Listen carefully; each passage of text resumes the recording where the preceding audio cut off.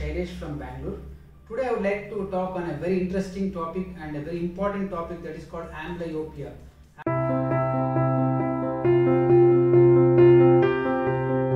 Amblyopia or commonly termed as lazy eye and it is seen commonly in children and it is one of the common cause of preventable blindness in children and it is increasing more and more because of the refractive and other conditions.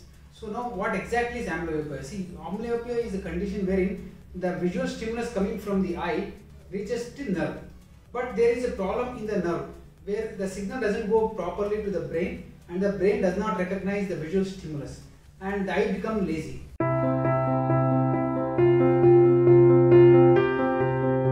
So what are the causes and who all uh, gets this amblyopia or lazy eye? See, this is commonly seen in children who does not wear glasses or who does not come for checkup and they have a high refractive or high myopia or hypermetropia. That is one condition. Second is those who have what squint or what is called as uh, strabismus or you know, crossed eyes and one eye is straight and another eye is crossed. So in those conditions the signal does not go reach the nerve and then the brain. So in those conditions also the eye goes in for laziness.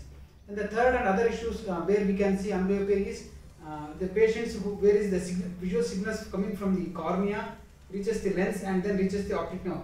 In this pathway, if there is any problem in this pathway, like there is any corneal opacity, uh, that is a scar or anything, and if there is any trauma or injury to the in the childhood, and if there is any problem in the lens, uh, the crystalline lens, it is seen in congenital cataracts or the cataracts occurring in a very young children. So there also the light does not enter inside the eye. And then there is any problem with the optic nerve or any problem with the vitreous cavity. So anywhere in this uh, line of vision, if there is any blockade to the light, then the visual stimulus of light does not reach the eye and the patient or the child should not see. When the light does not enter, if the image is not clear on the retina, then the brain perceives it as in a blurred fashion and then the network happens in the brain accordingly and the patient will see that as a blurred image and that will remain forever until we intervene. So here comes the problem like if you don't get treated then the child's or the person's image will remain blurred and the vision will be subnormal and that is called amblyopia or lazy eye. Now how do you overcome the laziness? Any laziness can be overcome by activity. So we have to clear those uh, visual pathway or the obstacles in the pathway. Like we have to treat the corneal problem, make the light to go inside or treat the cataract or anything and or treat the refractive, the glass number what the child has. So that has to be corrected by glasses. So you have to reach the hospital and get the number checked and then give appropriate glass. So the signal and the clear and sharp image falls on the retina and further it carries to the nerve and then the brain. And the brain will recognize that clear signal.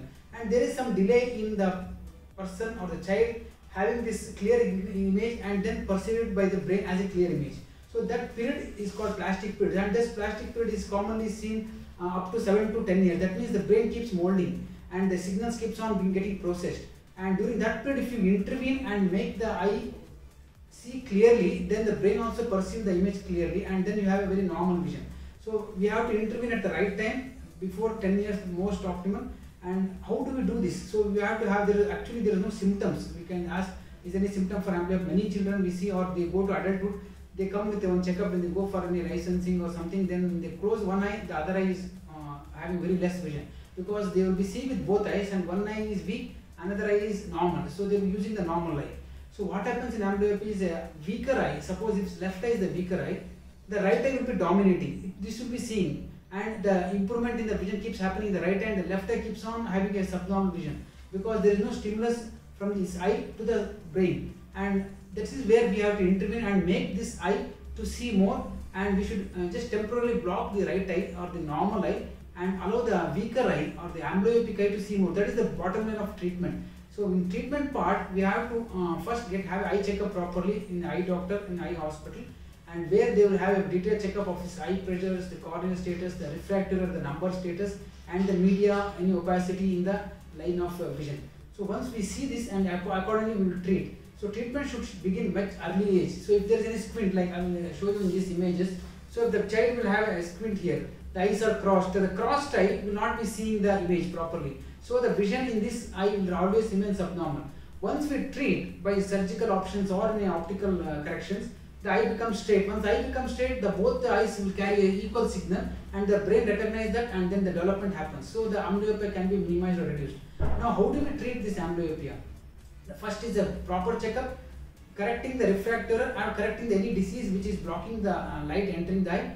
Then many times the eye is already being dominated by the normal eye. Like in this case, you can see this is the normal eye and this is the amblyopic eye which is being patched. This is a patch called as uh, a white, white sticker or a brown sticker they are available.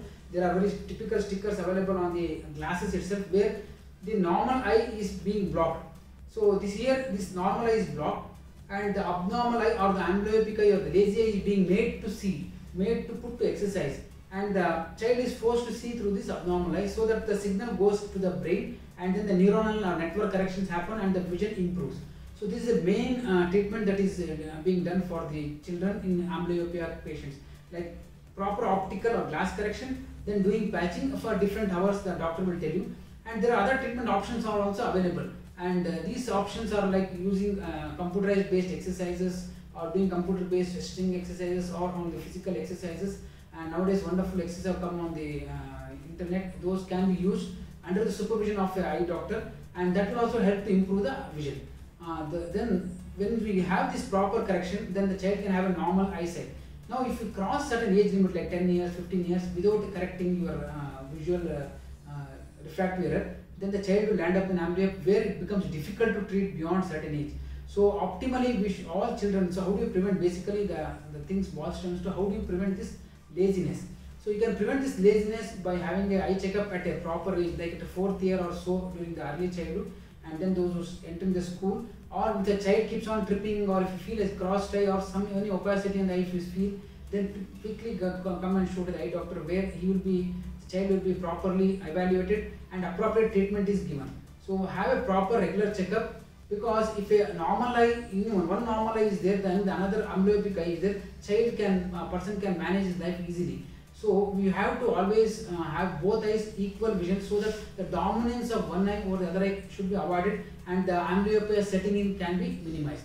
So have a right examination at the right time or before about 4 to 6 years of age, school going age, then in, regularly or once in 2 years or so depending on the nature of uh, um, refractor we have to follow it.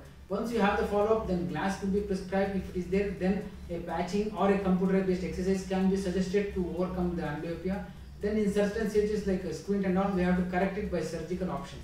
So with all these uh, uh things, we can always overcome amblyopia and the child can have a normal vision. And the main thing is that you should enter into the plastic period or go early and get your eyes checked and get it treated early so that this laziness or amblyopia can be prevented. Thank you.